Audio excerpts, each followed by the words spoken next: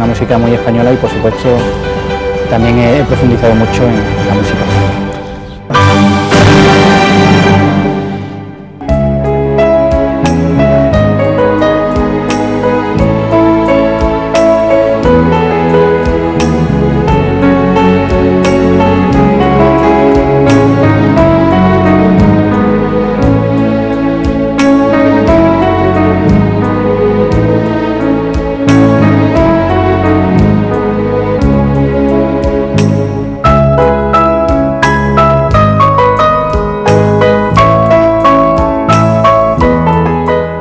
Básicamente es trabajar en el piano, me llevo todo el día trabajando o con el piano o componiendo.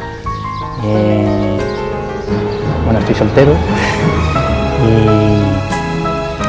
bueno, lo que hago es trabajar. El piano es, una profesión que requiere muchísimas horas de estudio y, que bueno, cuando das un concierto no se sabe realmente la, de horas de trabajo que, hay detrás de eso.